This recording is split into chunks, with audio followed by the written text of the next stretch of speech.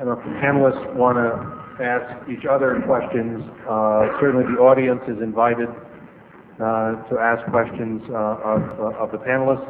But if you do so, we would ask that you approach the microphone slowly to avoid any injury issues, um, and, uh, and, and uh, speak clearly into the microphone. Anybody want to start off? Bob Levy, Cato. A couple of panelists uh, mentioned predatory pricing, so let me raise this as a possibility. As many of you know, Microsoft gives away its browser, and when it does so, the government cries foul. Uh, so when Microsoft isn't being accused of, uh, of monopoly price gouging uh, for charging too much, it's being accused of predatory pricing for charging too little. The real money in browsers doesn't come from uh, the sale of browsers. It comes from advertising and uh, electronic commerce. So it's like network TV, which of course is free, and it's like controlled circulation magazines, which are of course free, but you are obliged if you get these free services to look at the advertising. In that sense, the, bro- the browser can profitably uh, be given away because it generates uh, ancillary revenue. And this is a, a condition that economists characterize as having a negative marginal cost. And that's why neither Microsoft nor Netscape, who of course was the first to price its browser uh, at zero, uh, is engaged, neither of those firms is engaged in predatory pricing. Uh, the browser's zero price is more than its negative marginal cost. That alone negates a predatory pricing uh, claim, uh, the first element of which is that the price has to fall below marginal cost. My question is, what do you think of that? Any comments from any of the other panelists? The person, oh, all right, I'll vote for. I'll say a few things on, on the subject. Uh, I mean, Rick raised questions about uh, what is predatory pricing, and uh, the reality is that uh, the, this is one of the key issues that differentiates uh, Chicago school uh, approach to antitrust from the post-Chicago uh, reconstruction that's going on and beginning to gain increased uh, adherence. The, uh, in the era in which the Chicago school really dominated antitrust, uh, it almost eliminated predatory pricing from the antitrust vocabulary, uh, coming up with a, an extremely narrow approach, which has been endorsed by the Supreme Court. Um, uh, one question that a lot of people are, are trying to deal with is, does predatory pricing exist often enough to be of concern and to be something the government should go after? Let me backtrack for a few minutes before I get to uh, dealing with uh, the question Bob raised. Um, look at airlines. Uh, right now, the Department of Transportation is attempting to deal with what it sees as predatory pricing at fortress hubs. Um, they're having a hard time dealing with it because the, the current uh, prevailing law on the subject almost defines predation out of existence. Makes it very hard to prove in an antitrust context. And yet, when they look, the Department of Transportation, a lot of other people look at what's happened at uh, hub terminals, they find that uh, when new entrants attempt to, to create new airlines or new routes uh, at a dominated hub, that the dominant air carrier comes in, cuts its prices very, very low, puts on additional seating, and continues this until the new entrant gives up and exits the market. This has happened time and again, and uh, finally, the Department of Transportation is trying to deal with it, but they're faced with a problem of, hey, I see it out there and it's happening and it's real, but the economists and uh, and those who've taken their cue from the Chicago School economists on this, and Nick and I are both graduates of the University of Chicago Law School. We just disagree about uh, some of this. The economists say this it happens so rarely that, uh, and it's too dangerous to go after it because we will freeze aggressive competition. We shouldn't go after people who price their products too low because what we want is low pricing. The problem is, if you look at the uh, air hubs, as soon as the uh, new entrant uh, exits the market, the dominant firm raises its prices very high. Now, there are a lot of a lot of issues here. One issue is what do we mean by recoupment?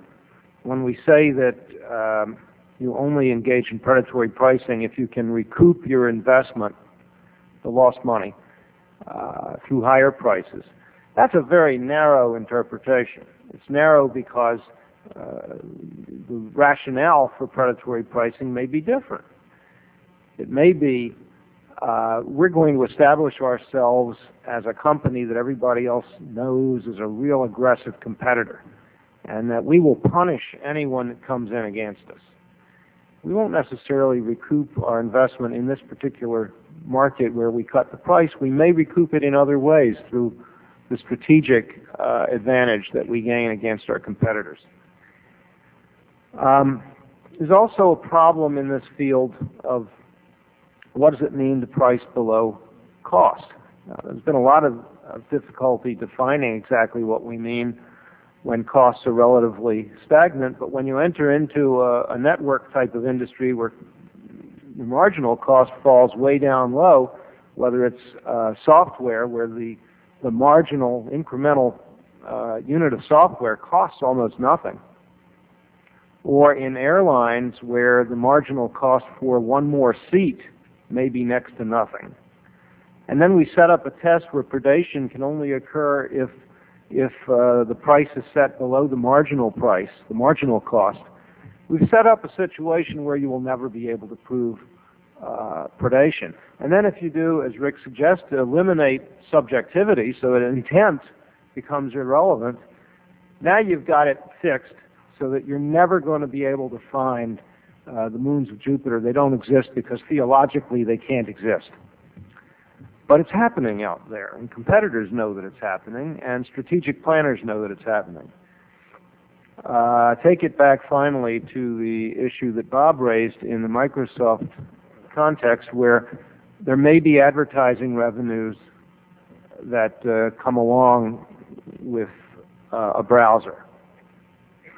Well, maybe. My understanding is that the if you look at the average cost of creating the software, uh, you're not recovering average cost uh, out of the advertising. I don't know what the answer is empirically, whether that's true or not true. Uh, this is what I'm told that, that the average costs uh, are not recovered as a result of the advertising. What uh, what I would say though is if you're if you're giving away the product and you're able to do that in large part because you're tying it to a uh, monopoly, and the other guys out there have to make a profit on the product, then you've got an advantage that will allow you to maintain a monopoly and drive out the competition. And that's what it appears to me uh, is the case here. Bob, just uh, make a couple points. First of all, I, I think it's important to bring uh, back us all back to something that predates even the Chicago School, but is pretty much um, uh, holy writ in the antitrust uh, realm, and that is the notion that the laws protect competition and not competitors. And I think if you lose sight of that, you pretty much lose sight of the whole purpose of the law.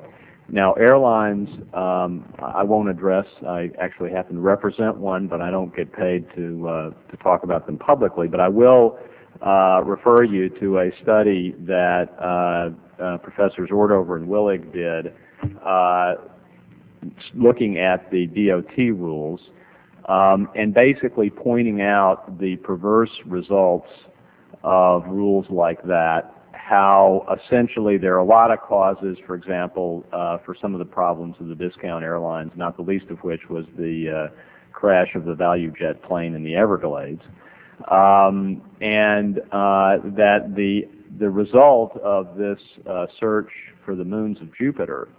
Uh, we don't really know them, but you know maybe they're around Mars, so let's uh, you know let's uh, blot out all the moons on Mars. Um, the result is that consumers pay higher prices. Let me turn to the Microsoft case. I mean, the real absurdity of the predatory pricing claim is the notion that if you, I mean, it, you know, part of it goes back to the question of integration uh, and whether or not you're going to force a company that essentially makes a product that has multiple functionality inherently built into it, which is what the Court of Appeals recognized, that essentially a company can't provide that product as a whole with those multiple functions exposed to consumers, but instead has to, to charge for each function. The Court of Appeals at least thought that was a pretty absurd result, and it was reflected in their opinion. Um, you also have the fact that what the government is focused on is the uh, revenues from browsers. Uh, and, and, they say that the harm to competition is the elimination of the revenue from browsers. First of all, if you look at Netscape's initial philosophy and even some of the documents at the time they came up with their first browser, they never really expected to generate a lot of revenue off of browsers, their clients, uh, in, in, the client server nomenclature. Uh, they really expected to generate most of their money off of servers. Um, uh, it turned out because they had a browser that was out there and they really were so much better initially than everybody else, they found out they could actually charge some people for it and they made some money off of it. Uh, which is interesting behavior, but you might say that, gee, that they maybe thought they were monopolists. But then in a, in a uh, sort of verification of the strength of these markets, Microsoft came along and essentially, I would say, returned the price of browsers to the competitive level, which was to give them away. Now, was that terrible? I mean, was that predation? Uh, well, let's think. Now, predation only makes sense if I can drive my competitor out of the market and eliminate whatever assets he had so they can't come back into the market immediately upon my raising price. Well, did Microsoft accomplish that? Well, no, not by uh, any stretch of the imagination. All that happened was Netscape was forced to compete. They had to look for other sources of revenue, uh, like uh, uh, charging advertising on the portal site, like selling server revenues. Uh, uh, they, in effect, found Microsoft catching up with them, but they haven't gone out of business. Indeed, they're neck and neck with Microsoft. And then guess what happens uh, about three months ago? They sell their company for about eight times its capital market value. $10 billion is what their shareholders got. Now, we should all be so lucky to be predated against like that. Um, the fact is that it's competition, and that's what, if you lose sight and the antitrust laws of competition, and that's what you're protecting in the interests of consumers, you end up with a lot of lawyers and economists sitting around talking about, well, how do we protect the Netscapes of the world? Uh, how do we ensure that what's going on today uh, doesn't go on tomorrow, ignoring what's going on around the marketplace that's going to change things anyway, beyond what you can imagine? And that ultimately is the problem with uh, DOJ's case because maybe it sounds good in theory, but when you actually look at the facts, you actually look at the way the market is operating, um, it's very hard to see how consumers and competition are being harmed. And frankly, I think that's what a lot of people, you know, that we've talked about the man in the street. That's why if you tend to, I mean, if you believe that there is wisdom in the common man, um, and you believe that that ever gets revealed in polls, then I think those who who uh, may think that it's great that common man is now paying attention to antitrust, and I, I tend to agree with that, will uh, be surprised to learn that the common man thinks the government's case generally is all wet, and that remedies like breaking up Microsoft are absurd by very large majorities. Uh, Professor Zittrain? I love Rick's invocation of polls as the way to figure out this problem, sort of antitrust by Ricki Lake. But um, that aside, uh, chart, but I don't. Yeah, yeah. That aside, um, I just want to trace where the argument is right she could not be here today, by the way. That's too bad. Perhaps more people would have voted to see her than us. Um, but that aside, here's where I think the argument is right now. It's the typical so far Chicago school versus post-Chicago school argument about uh, if you have predatory pricing, is that a problem that we should be chasing as a government or as an uh, instrument uh, in the antitrust system? And uh, the point that has been raised is, well, wait a minute. If somebody exercises in predatory pricing, they give away their product for less than it really costs them to produce it, Um, that may well drive other competitors out of the market, but then they have to recoup. They're going to have to raise their price later to somehow make benefit off of it. And to say, well, somehow they'll make money in other divisions, well, that may well be true, but what's the benefit of having won your battle in this area if it's a money loser for you? I mean, it does make sense to look at it area by area. So the argument from the Chicago School as we hear it is uh, it doesn't make much sense to act this way if you're a rational market actor, because after a while you're going to have to raise your prices to recoup, and as soon as you raise your prices, everybody comes streaming back into the market and clobbers you. So isn't there um, really no problem? And the airline example was uh, what we used to see. And now we had some response to that with the idea, well, it's hard to kind of enter and exit really quickly with an airline. You don't just buy a few 737s the minute that Delta raises their prices after they've successfully driven out the last uh, competitor. But that's sort of on the margins too. You'd figure eventually uh, that could smooth itself out. But what I want to propose is that this isn't the whole story. Uh, we're working in a networked environment. One of the questions Bob asked to, to start us off was, is there anything different about software and about cyberspace that actually adds to this ages-old debate about, say, predation and recoupment? And I want to suggest there is. The way I suggest there is is because motion in this environment is uh, Newtonian. It's not Aristotelian. And by that I mean uh, unlike the traditional model that says the minute you stop competing, the minute you stop innovating and pricing uh, in a way that actually reflects your true costs, uh, the minute you stop doing that, everybody else comes in and competes with you. Your arrow stops moving the minute you stop pushing it. So you can't lay back on pushing it for a while in order to push it harder later. But in a networked environment, that's not so.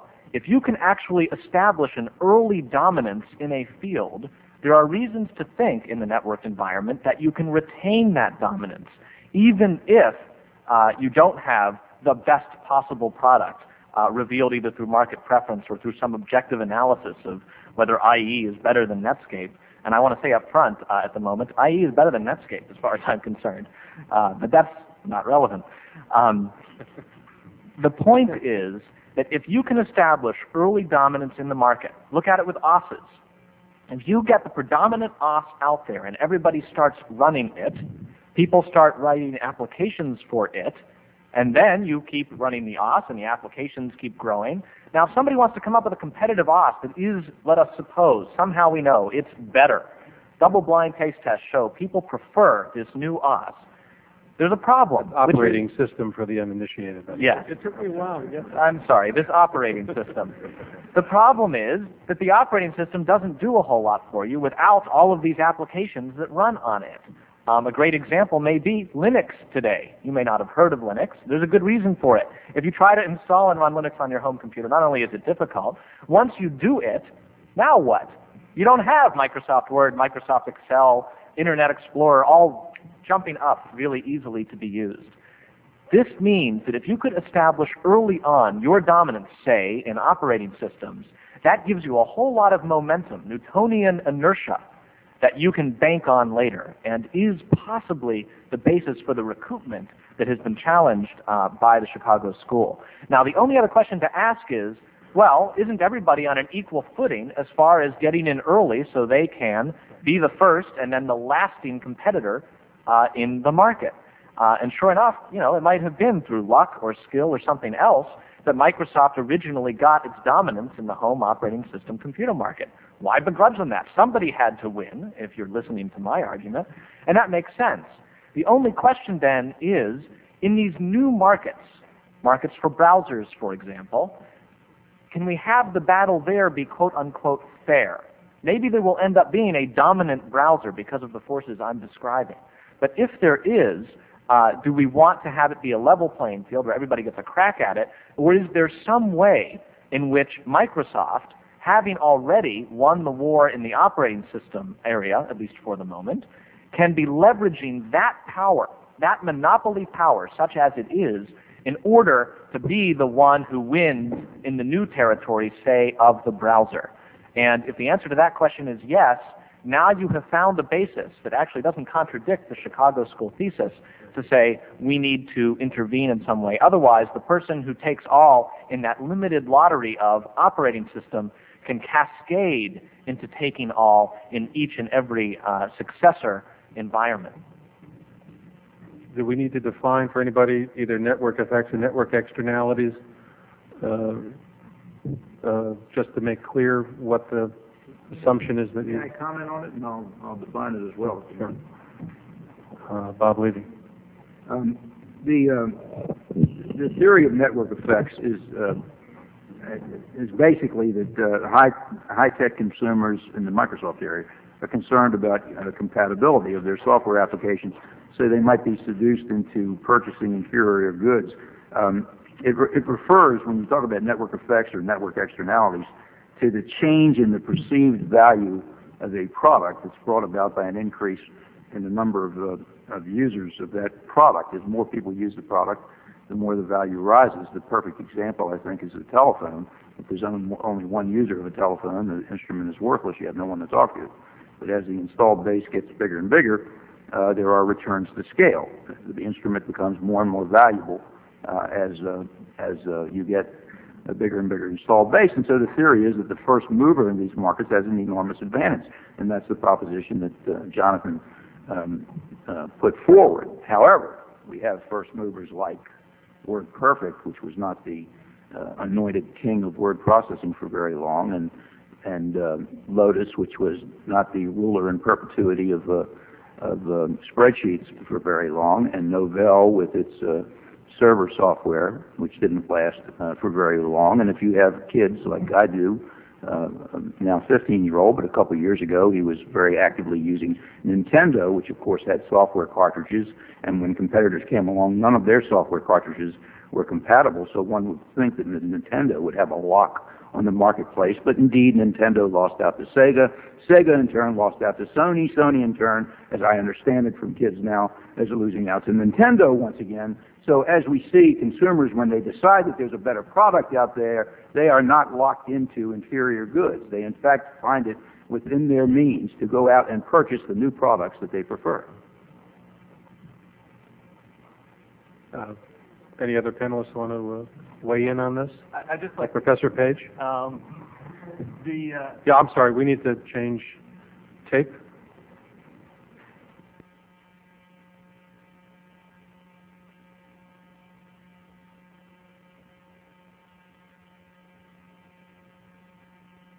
Professor Page? I think all sides concede that the network externalities or network effects story has relevance in, in the Microsoft case. Um, but it usually turns out that it doesn't have that many implications for the outcome in the case. And part of the difficulty, one of the reasons Jonathan adverted to is that um, if uh, you view network effects as predicting this, this uh, kind of original sin that you know you're doomed to one particular outcome, what difference does it make who wins? Um, uh, but there are uh, there are potentially other uh, difficulties with it. Um, first of all, the network externalities argument has greatest relevance with respect to the operating system itself. It's less clear that there are strong network effects with respect to browsers. Uh, it is entirely possible that uh, because of the nature of the browser market, that you can have uh, clearly have survival of a number of competing browsers at the same time. It's less clear that that, that, that will that will follow in the case of uh, of uh, the operating system. Um, furthermore, you know, uh, it's also been adverted to that um, the fact that there are network effects doesn't mean that um, that standards don't change, and we've seen this in, in numerous uh, examples where Beta had the uh, initial lead in, uh, uh, in, in VCRs uh, and was ultimately overtaken by, by VHS. Uh, and uh, it, it's, uh, it's, it's never the case, even in the context, uh, even if you look at the theoretical literature of network effects, that uh, it predicts that a particular standard will win and then will become locked in permanently. In fact, there are some stories that, uh, in which uh, the market will inefficiently jump to a new standard because people are afraid of being stranded uh, with an old and outdated standard, and, and sometimes new entrants can benefit from that uh, in, in moving to the new standard. So I'm not sure that the theory of network effects uh, tells us very much from a policy point of view on an antitrust issue in this case. Professor Zittrain? Now, this is a very good question. You I'm might say, uh, why browsers? Why should we, even if we credit that there are network effects that take place in operating systems because of the relationship, for example, that I described between the operating system and the applications that kind of keep you locked in, uh, you might say, why browsers? And that's a similar question to say, why solitaire? Uh, you know now that bundled with most versions of Windows comes a game called Solitaire that you play, and it's solitaire. And sure enough, if there were budding solitaire manufacturers out there, they may be bemoaning their fate because uh, it's very hard to sell people a solitaire program when there already is one. But again, so what? Uh, you know, that might be what Microsoft chooses to give away, and the price of the operating system must reflect whatever it costs them to write or to obtain some version of solitaire. But I do want to suggest that there is something different about browsers than just any old other piece of software. Uh, in a way, Microsoft's argument that the browser is integral to the operating system actually hints at this. There was a period of time when Netscape as a browser included functionality in it, it still does, but it's no longer really being developed, called Java. And what was Java all about? Java was an idea uh, that said if you write it once, that is directing to software developers, if you bother to write your program once, if you write it for Java, we'll try to see to it that it'll run on any computer or any operating system. This is the write once, run anywhere idea. Now this would be very interesting because if it took place, that pretty much everything from a TRS-80 to a Pentium chip computer to a Macintosh to a Sun SPARC station, each of them said, Java, I know about that. I'm your operating system, but I can do Java too. And most of the software turned out to be in Java.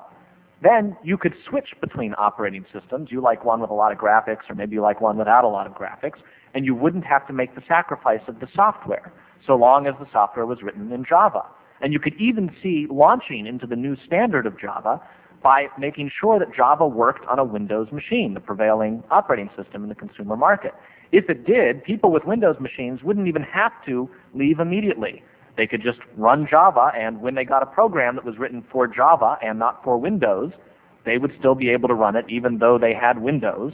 Uh, they also have Java on top of it. So why am I babbling about all of this? Well, the reason I'm babbling about all of this is because Netscape implemented Java in a way that was hewing to this common standard. Internet Explorer comes along and says, we're going to implement Java as well. This is the way that if you have IE, you can run Java software, but we will change it a little bit. Now that's a perfectly rational thing. If the company wants to do it, they can change it. They implement it how they want, although there's another lawsuit on this subject still going on. But now here's the strategic reason why you'd want to change it a little bit. If you change it a little bit, then somebody who is writing their software for Java has to make a decision. Am I writing it for the Java that runs on the TRS-80, the Pentium chip, the everything else, the Netscape, blah, blah, blah, blah, blah, or am I writing it for the Java that is changed for IE, for Internet Explorer? And if I write it for IE, I then have to write two copies. It's not write once, run anywhere anymore. And if I write it for the IE, maybe I won't bother to write it for all the other platforms. Now you can understand why the battle, the battle to see whether Internet Explorer will be the predominant browser or Netscape takes on a new dimension. If Internet Explorer beats out Netscape, its version of Java beats out Netscape's version, which means you no longer have the Java that is write once, run anywhere. And if Internet Explorer loses, then there is the chink in the armor that is exactly the kind of story that says here's how beta can lose to VHS in the long run, to say here is the way in to have the next operating system be different from the earlier one. That's to me why the browser isn't just like solitaire, and why again you can see that not only giving away Internet Explorer, but entering into the kinds of agreements that were alleged uh, in the case and that have yet to be ruled upon that say you're using your monopoly power to unduly be able to promote Internet Explorer and get it to become the new standard is actually a form of monopoly maintenance of the operating system, not just a form of establishing dominance in a new little area uh, akin to solitaire. Uh, Bert Foer had a comment he wanted to make, and I know that Rick Rule um, appears to be interested in uh, a possible response. I don't know how I know that, but Just two quickies. Uh, number one, Rick is right. There's a mantra in antitrust that uh, it's competi- it's competition we protect, not competitors. I don't know if that means anything, but I mean, we all believe it. I believe it. I believe it. But I also believe that at a certain time it, it becomes meaningless. If you've got one one competitor, and his name is Netscape, and you eliminate it, have we protect and we go after this in an antitrust case? Have we protected a competitor, or are we protecting competition? Uh, so it comes a point where it doesn't mean too much. Uh, the other thing is we're telling different stories, conflicting stories. Uh, the court is going to have to decide which story uh, is closest to the truth. Um, the different stories lead to different kinds of remedies. So when we complain that uh, there hasn't been enough discussion of remedies, that, that the government has not gone forward explaining precisely what remedy it it wants to have invoked. One of, one of the reasons for that is not just strategic, but until you narrowly define the violation and uh, with some finality, it's very difficult to talk rationally about the remedy, and we're in that position right now. Uh, let me uh, just make one make one response to uh, to what Bert just said, which I think is a very good point, and it kind of relates to uh, one of the things that uh, Professor Orland talked about.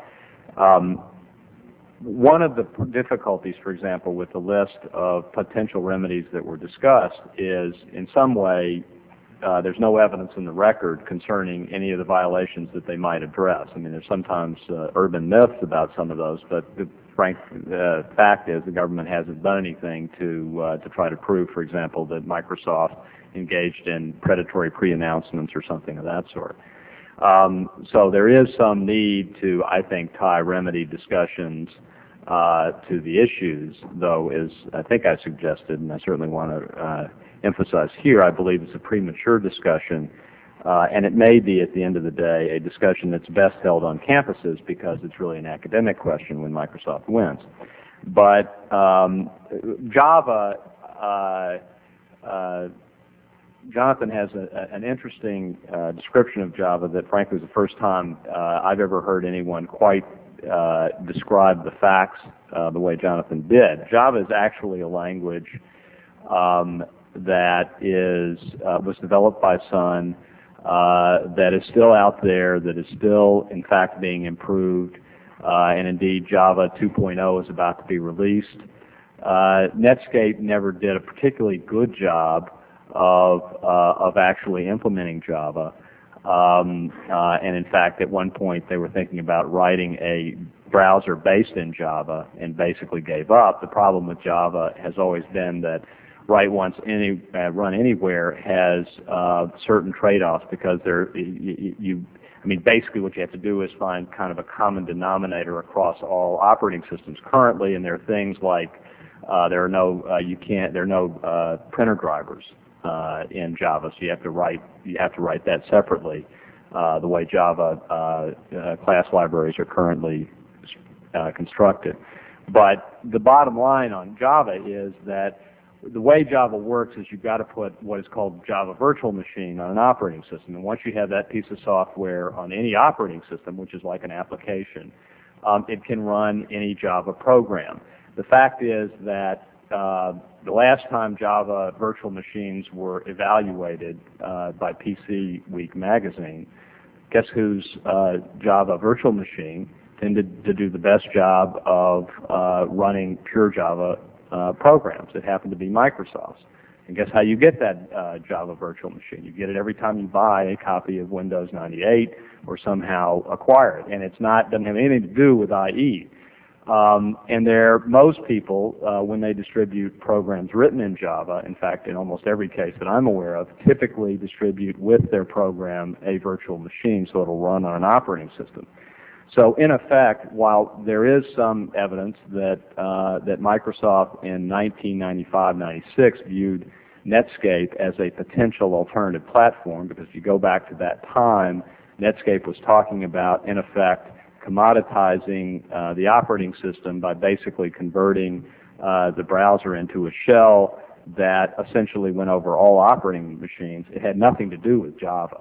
Java is a different issue. It's a platform. Essentially, what Microsoft is being accused of doing is, although it implements pure Java very well with its virtual machine, because of some of the difficulties with Java, Microsoft also created a mechanism that a programmer using the Java language can write part of his or her program in Java, but then for certain aspects can make direct calls on the Windows operating system, can go directly to the APIs in the Windows operating system and do things that you can't do with pure Java.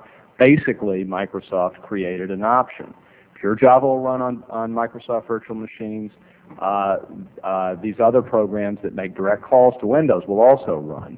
Um, and the dispute is with Sun is whether or not Microsoft supports something called JNI, which is Sun's version of how you make direct calls on specific operating systems, uh, not across all operating systems. So the real question is, which can Microsoft provide for uh, software developers who want to write programs that call on the uh, Windows operating system? Does Microsoft have to do what Sun says, or can Microsoft provide an alternative for developers that developers happen to want to use when they don't want to write once, run anywhere. Now, in my view, maybe I'm wrong, I always thought providing an additional alternative in the marketplace generally was a pretty good thing. And you can have a debate about Java, but it really is a debate that is distinct from the browser. The government, to some extent, has tried to mix the two issues up, but Java is a separate platform uh, it may be a competitive platform. It's one that Microsoft worries about and still worries about a lot, but it was a different platform that Netscape was promoting back in the 96 timeframe that uh, essentially the documents deal with, not Java. We have uh, one question from the audience, and I think uh, because of the time, we should then adjourn for lunch, and then we'll have time at the end of the day uh, for an, a substantial additional uh, discussion period. Uh, speak into the microphone. Thank you. Hi, um, I'm uh, Bill Swigert from Swigert and Agan in Boston, and uh, just as an aside, I played golf with a couple of uh, engineers in Seattle who were employees of Microsoft Corporation this summer, and they had just they were plowed out of their minds actually. They just come from a, a party celebrating the, the, uh, the that day they had released the Java software developers kit, and they agreed to play golf with me only on the condition that none of my clients had any connection with Sun with uh, Sun Microsystems. so, uh, any, one of the um, remedies that uh, that I've read about recently that might be the best outcome would simply be a finding that uh, Microsoft Corporation is a monopoly. I, I know they spent an awful lot of time and effort in the, the first uh, few months of the trial simply trying to defend against that charge, which seemed to me quite ludicrous. And they obviously are a monopoly. Um, I wonder if any of the uh, panelists would be interested in commenting on the um, the fact that uh, you know going forward, if there is a finding of monopoly, and I don't see how that, assuming it's not settled, I don't see how they could avoid that. If that in and of itself might constitute a remedy and that it, it will um, enable their competitors who, are, who will hopefully be facing them in court in the future in private actions, uh, will give them a lot more leverage in being able to um, uh, have a presumption in, in their favor since they're dealing with, with a monopolist. Recognizing that having monopoly power and exercising it unlawfully are, of course, two different things. Um, I don't know if we can do this in a few minutes. Um, uh, there's a lot to that question, and uh, if someone wants to, take a crack at it, I'd be most appreciative. Bob Levy? I just want to take uh, 10 seconds, and that is, uh, um, I do not presume that Microsoft has a monopoly, and this afternoon, if you folks will hang around, I'll give you a lot of good reasons to believe that they do not have a monopoly. It's a tying arrangement. Stick around. I'll just add though. It'll, it'll antitrust humor. Just, just Uh, one Professor point. Page. yeah. Uh, I, I think uh, while there there are strong economic arguments that Microsoft's market share does not necessarily confer, confer monopoly power in the same way that it would for uh, uh, other firms with similarly high market shares, uh, I think it was probably a strategic mistake for Microsoft um, to defend, to, try to contend that they lack monopoly power under prevailing legal standards because uh, the, it was the beginning of a pattern that's occurred throughout the, the trial in which uh, contentions related to its positions were made to appear ridiculous to the court.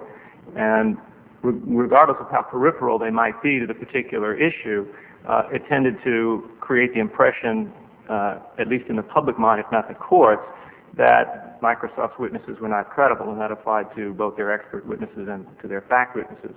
So, uh, you know, I, I agree. It's it's not clear, even if you agree with the economic arguments that Microsoft's monopoly could disappear, you know, in, in fairly short order, that it was necessarily the best strategic tack to fight in, to the death in that particular ditch. One, one more comment by Professor Kovacic, and I think we will adjourn. Uh, the finding of monopoly power could be used by other litigants uh, and would enable them to start their cases with an assumption, assuming they're challenging the same basic market position, would allow them to focus on conduct concerns rather than monopoly power. That's an advantage for the private litigants. The offensive use of collateral estoppel That's for those in the legal business. Uh, I'd, add quickly, though, that uh, the disposition of the conduct issues becomes terribly important as well, because if we assume that this goes to the distance, and God help us if there's a settlement, um, but, uh, but if there, if it, uh, if it does go the distance, there will be significant treatments of each and every one of the significant uh, conduct issues, and those conduct issues, uh, the disposition of those issues would be a, would probably be a major hurdle for the for the same litigants. But but if I'm if I'm thinking of bringing a private suit and uh, and I, I see a favorable outcome on that issue, uh, that's a plus for me as a private plaintiff. Can I just mention one, one point real Yeah, I know, quickly? because Rick in particular will not be able to be here this afternoon to With- with- defend without- himself. Well, I may, I may be here for a while, but I am going to have, uh, uh, I will have to leave. The one point that I would make is uh, that this case raises an interesting issue that I think is kicking around in the courts in a variety of different cases, and that is how in, in markets like this that uh, where you see um, intellectual property as being an essential element, does one distinguish between rents uh, that are generated by that property and monopoly. Um, and quite apart from this case, you take, for example, a case like Toys R Us, where the intellectual property really is different, but it's a trade name uh, and consumer uh, uh, goodwill that has been generated by the company. The FTC um, and I think certain trends are beginning to obliterate the importance of monopoly power and create uh, the opportunity for increase for attacking an increasing range of unilateral conduct uh, by confusing what are rents to intellectual property with monopoly power and essentially being able to skip over the monopoly power issue and go directly to conduct. And that's why, and maybe it was a mistake to focus on traditional analysis, but I do think that this case, the Intel case, although it was settled, and other cases raise a very interesting question about how do we deal, how do we distinguish uh, intellectual property uh, from monopoly. And if we're not going to distinguish it, then it means almost every company, like a pharmaceutical company, like a, a software company, uh, like any company that provides consumer goods, may essentially have to view itself as a monopolist for Section 2 purposes, and I don't think that's what the law was intended to do. I want to thank everybody this morning and early this afternoon for stimulating discussion. We will adjourn